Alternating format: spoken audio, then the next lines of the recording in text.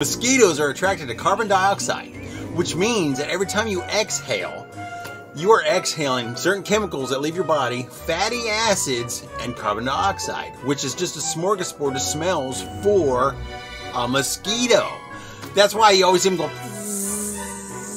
right in front of your freaking face to do a drive-by to see, oh, is this guy a good tasting mother? Anyway, so always be mindful around your home for stagnant water because they love to thrive in stagnant, nasty water. So always get rid of your stagnant water, put lids on things, turn buckets over.